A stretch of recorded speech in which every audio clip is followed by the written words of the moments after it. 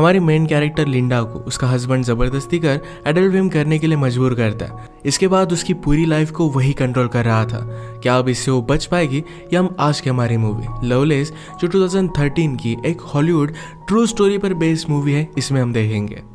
अगर आपको वीडियो अच्छा लगता है तो प्लीज़ इसे लाइक और कमेंट ज़रूर कर दीजिएगा। अब बिना किसी देरी के एक्सप्लेनेशन स्टार्ट करते हैं। मूवी स्टार्ट होती है और हम हमारी मेन कैरेक्टर लिंडा को देखते हैं, जो एडल्ट फ़िल्म इंडस्ट्री में अब काम कर रही थी। उसकी मूवी बहुत ही ज़्यादा हिट हो चुकी थी, पर अब भी वो बहुत ही ज़्यादा दुखी है। अब इसके बाद यहाँ पर वो कैसे पहुँची? इसका फ्लैशबैक हमें दिखाया जाता है। एक दिन लिंडा की मदर घर पर नहीं थी तो स्विमिंग पूल के पास लिंडा और उसकी फ्रेंड पैट्सी ये दोनों हैंग आउट कर रहे थे। पैट्सी अपनी इनरवेयर निकाल लेती है तो लिंडा को पसंद नहीं आता। एक साल पहले उसके साथ एक हादसा हुआ था, उसके बाद वो बहुत ही ज़्यादा डर कर रहती है। उसका एक बॉयफ्रेंड था, जिसके साथ भी बात आगे बढ़ाने में वो डर रही थी। थोड़ी देर में लिंडा की मदर काम से ज़रा जल्दी घर पर आके लिंडा को इस तरीके से देखकर उसे बहुत डांट दिया। थोड़ी देर में लिंडा और उसकी फ्रेंड स्केटिंग करने के लिए गए हुए थे। एक बैंड बहुत ही अच्छे से प्ले कर रहा था। पैट्सी वहाँ के एम्प्लॉय से कहती है कि इनमें कुछ तो मिसिंग लग रहा है। इनके पास नाचने वाली लड़कियाँ नहीं है।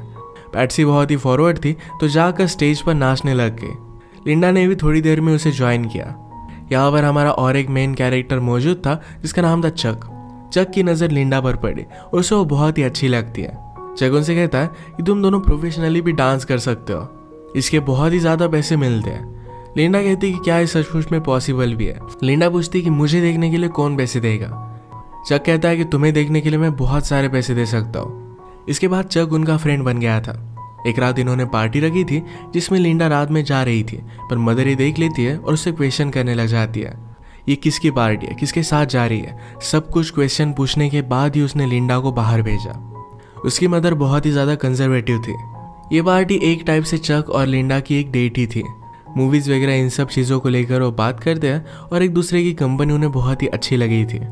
लिंडा को लगता था कि वो बहुत ही बोरिंग है, पर चक कहता है, तुम बहुत ही ज़्यादा इंटरेस्टिंग हो। इसके बाद उसे घर छोड़ने के लिए आ गया। उसने नोटिस किया था कि लिंडा बहुत ही चुप रह रही थी। उससे पूछता है कि ऐसा क्या हुआ? लिंडा ने कहा कि गलती से मैं एक साल पहले प्रेग्नेंट हो गई थी। मेरी मदर ने मेरे बेबी को अडॉप्शन के लिए डाल दिया। चक के साथ कोई भी रिलेशनशिप स्टार्ट करने से पहले उसके साथ ऑनेस्ट रहना चाहती थी। चक कहता है कि मुझे इससे कुछ भी फ़र्क नहीं पड़ता। मैं तुम्हारे पेरेंट्स से मिलना चाहता हूँ। जिस तरीके से चक है तो लिंडा को लगता है कि उसके पेरेंट्स को चक पसंद नहीं आएगा। चक कहता है, मैं हंड्रेड परसेंट गारंटी देता हूँ कि मैं उसे पसंद आऊँगा। अगर नहीं आया तो तुम एक रात मेरे घर पर बिताओगी। और आया तो वही हम करेंगे। लिंडा इस पर बहुत हँसी। डिनर के वक्त चक कहता है कि मैं आर्मी में था, क्योंकि लिंडा के फादर भी आर्मी में थे। उसने कहा कि आपके पास तो वॉर की बहुत सारी स्टोरीज होंगी, मेरे पास वैसा कुछ भी नहीं है। वो सिर्फ़ उन्हें इम्प्रेस करना चाहता था। इसके बाद ही दोनों किचन में गए। पेरेंट्स टीवी देख रहे थे तो किचन में ही दोनों इंटीमेट हो जाते हैं। इसके बाद चक लिंडा को मूवी देखने के लिए लेकर जाने वाला था, पर उसे अपने घर वो लेकर आता है। ये दोनों इंटीमेट हो रहे थे तो लिंडा ने कहा कि मेरी बॉडी पर स्कार है। उसे वो थोड़ा सा भी अच्छा नहीं लगता। चक कहता है कि तुम जैसी हो, वैसी बहुत ही ज़्यादा ब्यूटीफुल हो। रात में घर आने के लिए लिंडा को ज़रा लेट हो गया तो उसकी मदर उसे बहुत मार दिया। गुस्से में उसने घर छोड़ दिया और चक के साथ वो रहने लग गई थी। एक दिन चक के यहाँ पर पार्टी चल रही थी। पार्टी में लिंडा की फ्रेंड पैट्सी भी आई हुई थी। वो चक के पास जाती है तो चक ने एडल्ट फ़िल्म लगाई हुई थी। पैट्सी से पूछता है, क्या तुम्हें यह सब पसंद है? पैट्सी को इतना अच्छा नहीं लगता था। चक पैट्सी के पास जाने लग गया और उसे किस करने लग गया।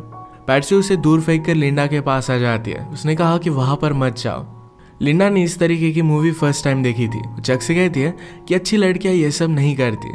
चक ने कहा कि तुम्हें यह सब करना नहीं आता, क्योंकि तुम्हारी प्रैक्टिस हुई नहीं है।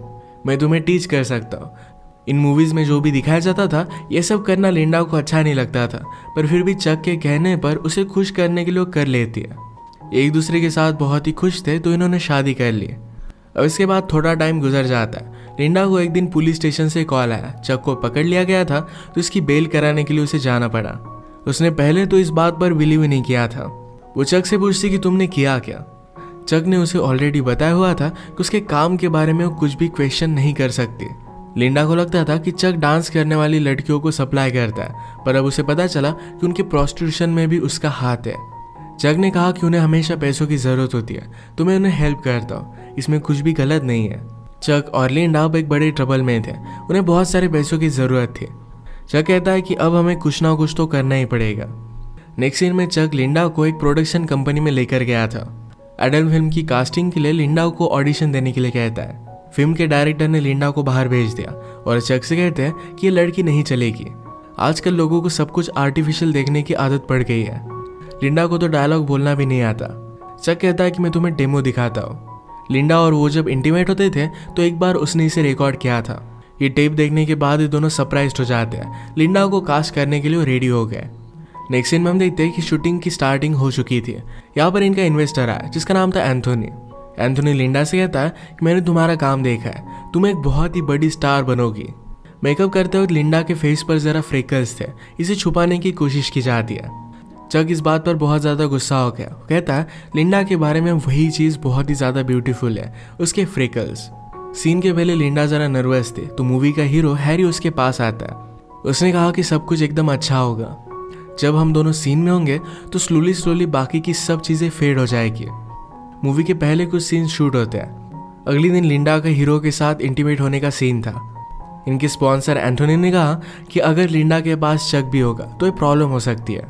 फिर उनका एक आदमी जिसका नाम था बूची ये से बात करता है। कहता है कि हमारे पास मूवी शूट करने के लिए रील्स नहीं है तो जाकर उसे लेकर आओ। चक कहता है कि कल लिंडा को मेरी ज़रूरत पड़ेगी, पर फिर भी वो इसकी बात नहीं मानता। अगले दिन शूटिंग स्टार्ट हुई और लिंडा की स्किल देखकर सब लोग हैरान हो गए थे।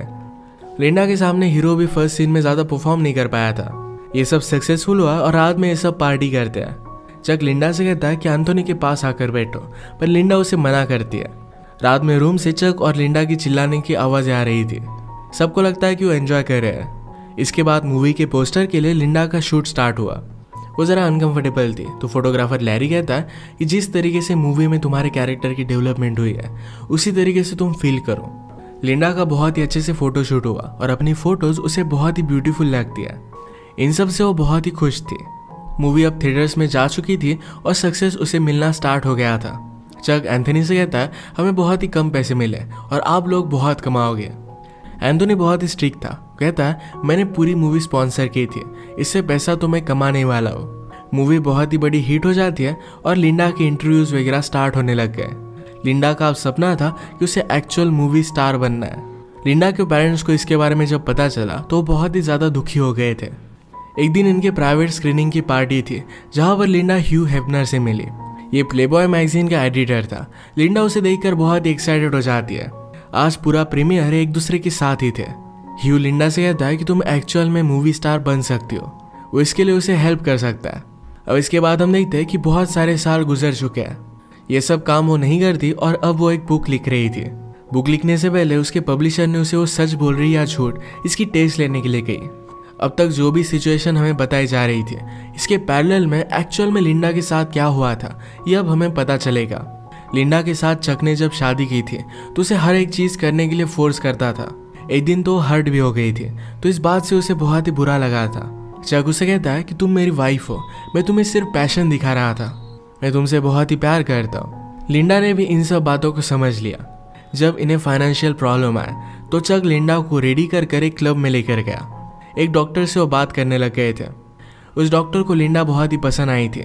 तो चक ने लिंडा को उसके साथ इंटीमेट होने के लिए ज़बरदस्ती की। वो लिंडा से ही प्रोस्टिट्यूशन करवाने लग गया था। अगर वो ये सब नहीं करती तो चक उसे बहुत ही ज़्यादा हर्ट कर देता। इन सबसे तंग होकर लिंडा एक रात अपनी मदर के पास आ गया। मदर को पता चल गया कि कुछ ना कुछ तो गड़बड़ है। पूछते कि हुआ क्या? लिंडा ने कहा कि क्या कुछ दिनों के लिए मैं यहाँ पर रह सकती हूँ। लिंडा की मदर कहती है कि जब मैं अठारह साल की थी, तभी प्रेग्नेंट हो गई थी। तुम्हारी सिस्टर को लेकर मुझे इस सोसाइटी में रहना पड़ा था और मुझे बहुत ही ज़्यादा तकलीफ़ हुई थी। तुम्हारे फादर बाद में मिले और उस वजह से सब कुछ ठीक हो गया था। तुम्हारा हस्बैंड ही तुम्हें संभाल सकता है। अगर तुम बिना हस्बैंड के हमारे घर पर रहोगे, तुम्हारा जीना बदतर हो जाएगा। वो कुछ चाहता था और शायद तुमने वही नहीं किया और इसी वजह से तुम यहाँ पर आ गई हो। अपने पति को तुम्हें खुश रखना चाहिए। वो जो भी कहता है तुम्हें करना चाहिए। इस बात को लेकर उसकी मदर बहुत ही ज़्यादा स्ट्रिक्ट थी। लिंडा बहुत रोती है। सिर्फ़ एक रात के लिए यहाँ पर रहना चाहती थी, पर उसकी मदर उसे अलाउड नहीं करती। चक का कॉल आया तो मदर ने उसे ले जाने के लिए कहा। घर आने पर चक उसे कहता, तुम अब एक मूवी करोगी। मैंने तुम्हारे लिए पार्ट लाने के लिए बहुत ही ज़्यादा मेहनत की है। चक ने उसे गन लगाकर धमकाया हुआ था। इसके बाद हम लिंडा को मूवी सेट पर रोता हुआ देख सकते हैं। सब कुछ उसके साथ ज़बरदस्ती किया जा रहा था। हमने प्रीवियसली देखा था कि लिंडा ने चक को एंथोनी के पास आकर बैठने के लिए मना कर दिया था। उस रात चक लिंडा को बहुत मारता है। एक दिन लिंडा अपने फ्रेंड पैटसी से मिलने के लिए गई हुई थी तो चक भी उसके साथ ही आया। पैटसी उसे कहती कि मैं तुम्हारे लिए बहुत ही वरीड हूँ। लिंडा कहती कि ये सब मूवी में कर रही हो, क्या इसी वजह से? पैटसी ने कहा कि वो नहीं है। चक बहुत ही वियर्ड है, क्या वो तुम्हें सब कुछ करने के लिए ज़बरदस्ती कर रहा है? बाहर आकर चक ये सब बातें सुन रहा था तो लिंडा डर कर कहती है कि मैं बहुत ही लकी हूँ कि चक मेरा हस्बैंड है। एक दिन पार्टी में चक एंथोनी के साथ पैसों को लेकर बात कर रहा था। एंथोनी ने कहा कि मैंने ऑलरेडी लिंडा से बात की हुई है। अगली मूवी में मैं उसे डबल पैसे देने वाला हूँ। लिंडा ने चक को इसके बारे में बताया नहीं था तो उसे बहुत मारता है। चक ने इनके मूवी के स्पॉन्सर से पैसे लेकर अपने लिए घर वगैरह भी बाय कर लिया था। एक आदमी उसके कांटेक्ट में आया था, जिसके साथ मिलकर वो टॉयज वगैरह सेल कर कर बहुत सारे पैसे कमाने वाला था। ज़बरदस्त लिंडा की एक फेक बायोग्राफी लिखना भी वो स्टार्ट करता है। एंथोनी चक के पास आकर उसके पैसे फिर से वापस माँगता है। चक ने कहा कि थोड़े दिनों में मैं तुम्हें पैसे दे दूँगा। पर एंथोनी कहता है कि लिंडा को सिर्फ़ और एक मूवी करने के लिए मना लो। पैसों के बारे में तुम्हें वरी करने की कोई भी ज़रूरत नहीं पड़ेगी। लिंडा की मूवी का जब प्रीमियर हुआ था तो ह्यू हेवनर भी सिर्फ़ उसके साथ इंटीमेट होना चाहता था। इन सब बातों से वो बहुत ही ज़्यादा डिस्टर्ब हो गई थी। एक रात घर आने पर अपने पेरेंट्स को कॉल लगाती है। उसके फादर कहते हैं कि मुझे तुम्हारी मूवी के बारे में पता है। तुम्हें ये सब करता मैं देख नहीं सकता। क्या तुम्हारी परवरिश में हमसे कुछ गलती हो गई थी? ये सब सुनकर लिंडा को बहुत बुरा लगा। चक लिंडा से कहता है अब तुम्हें और एक मूवी करनी पड़ेगी। पर लिंडा इस बात को मान नहीं रही थी। उसने कहा कि चलो हमें एक और पार्टी में जाना है। उसे एक होटल रूम में गया और वहाँ पर उसका सौदा किया। वहाँ बहुत सारे लोग थे। लिंडा को उसने गन लगाकर धमकाया। सब मिलकर लिंडा को ज़बरदस्ती करते एक तरीके से उसे मना करने के लिए उसे सजा दे रहा था। ये जब घर पहुँचे तो लिंडा वहाँ से भागने की कोशिश करती है, पर चक ने उसे रोक लिया। नीचे गिरकर वो हर्ट हो गई थी। वहाँ से पुलिस की गाड़ी भी गुजर रही थी। वो पूछते हैं कि क्या तुम लोग ठीक हो? पुलिस ऑफिसर ने लिंडा को पहचान लिया। चक कहता है कि मैं इसका हस्बैंड हूँ। हम अब घर ही जा रहे हैं। लिंडा डर कर कुछ भी कह नहीं पाती। पुलिस ऑफिसर ही लिंडा को ऑटोग्राफ ले लेता है। सुबह होने पर चक जब सोया हुआ था, तब लिंडा वहाँ से भाग गई डायरेक्टली एंथोनी के पास आए। एंथोनी कहता है, तुम्हें सिर्फ़ और एक मूवी करनी है। उसके बाद तुम इंडिपेंडेंट जी सकोगी। लिंडा ने उसकी सारी सिचुएशन उसे समझा दी। वो कहती कि अब मैं और एक मूवी नहीं कर सकती। एंथोनी डिसाइड करता है कि उसे सपोर्ट करेगा। उसने उसे रहने के लिए एक बहुत ही अच्छी सी जगह दी चक लिंडा को हर जगह ढूँढने की कोशिश करता है। फाइनली एक होटल में उसे लिंडा के बारे में पता चल गया। वो रात में गन लेकर लिंडा के रूम में आया, पर ये रूम एंथोनी का था। एंथोनी ने ऑलरेडी रूम को शिफ्ट कर दिया था। वो कहता है कि तुम अब कभी भी लिंडा के पास नहीं जाओगे।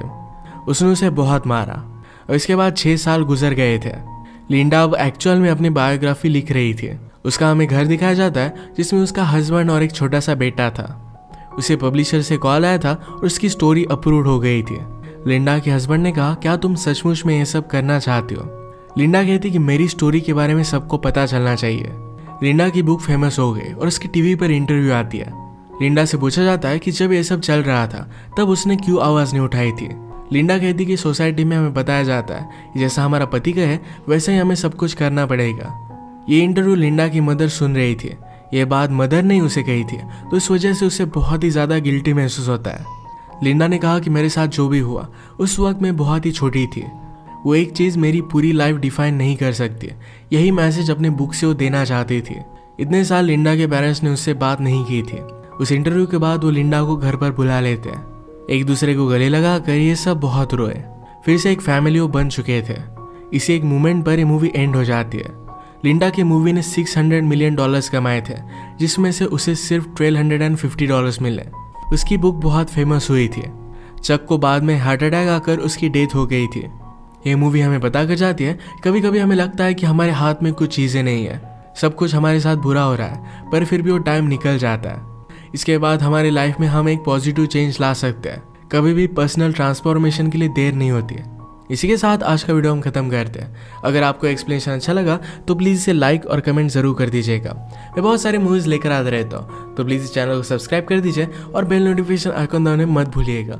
हम फिर से मिलेंगे और एक नए मूवी के साथ। तब तक के लिए थैंक यू और आप अपने आप का ख्याल रखिए।